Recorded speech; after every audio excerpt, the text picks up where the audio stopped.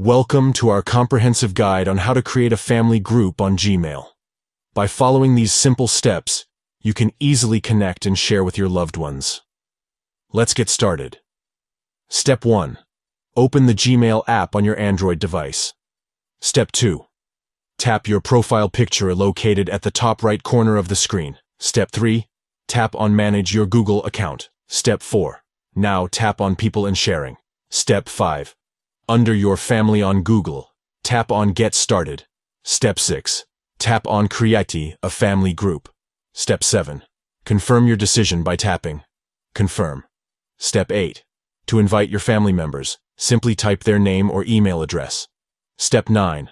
Once you've added all the necessary members, tap on Send. Please note that you can invite up to five people to join your family group, provided they are 13 years or older. Congratulations.